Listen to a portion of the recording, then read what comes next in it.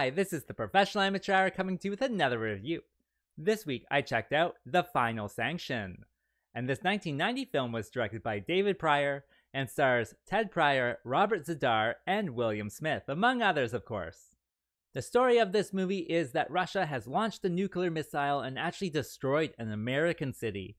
But instead of going into all out war, the two countries decide to do the final sanction, which is where instead of, you know, an all out war, they're just going to have a war with one person versus one person. So they both get to choose one man and then they go into the woods and try to kill each other. The winning country would, I guess, win the world.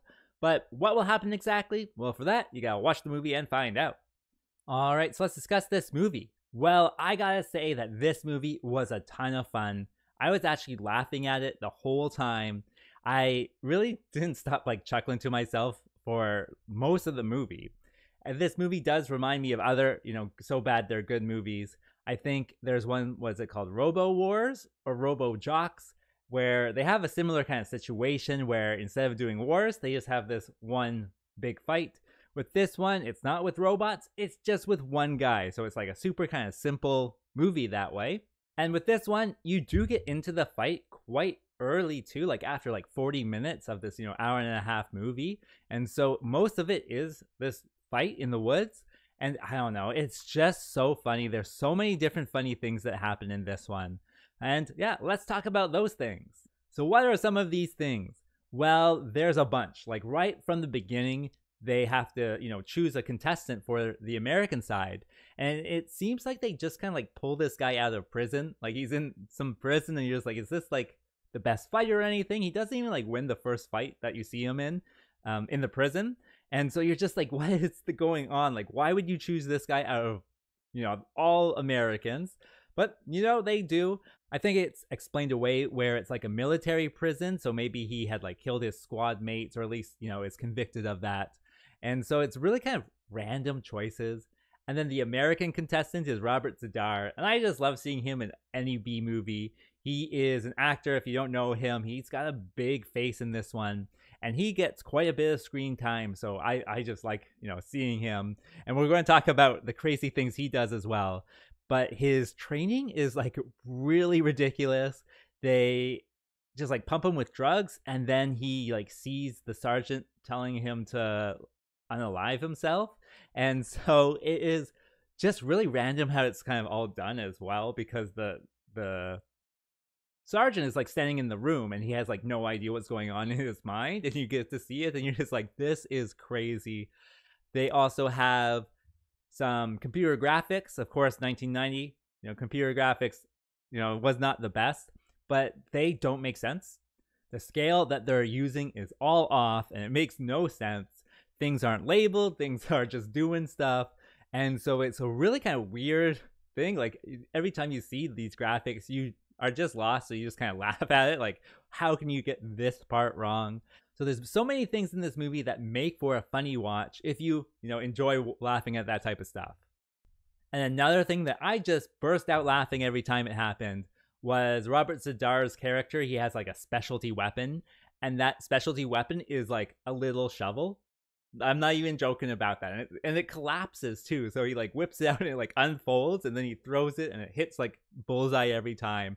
And then he does it like throughout the whole thing. And like every time, I don't know, I kind of forgot that he was throwing this shovel because they're using guns and grenades and stuff. And so when he just whips out this shovel and then throws it, it is unbelievable sometimes where you just have to laugh at it. So it is really funny. I'll clip it in here.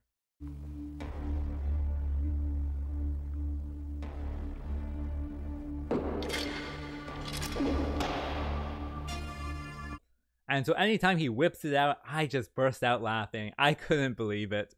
And then even like I would forget that it was his main weapon. So then when it whipped out again, I just burst out laughing again. So there's lots of stuff with his character just alone that makes it for a fun time.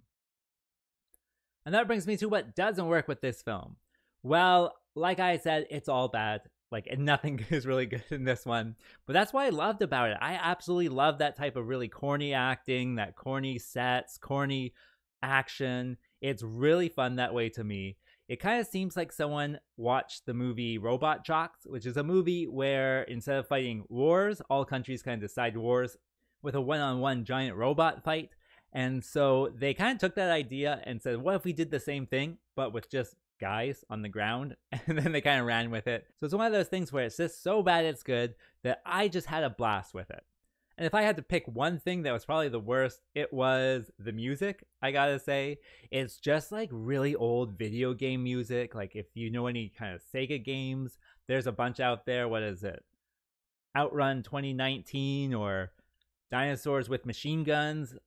These are the games that I used to play as as a child.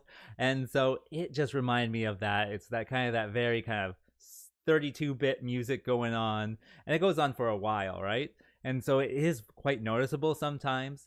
It's not always the worst, but it certainly allows you to have many different things going on in, you know, your internal monologue while you're watching this type of stuff so that the engagement level with me in this one I thought was just so good and I really did have a blast with this one. As for my recommendation, well, I gotta say, if you're a bad movie fan, this is something you gotta check out. I really do recommend it. I even watched like another Robert Z'Dar movie because I enjoyed this one so much. It was Killing American Style.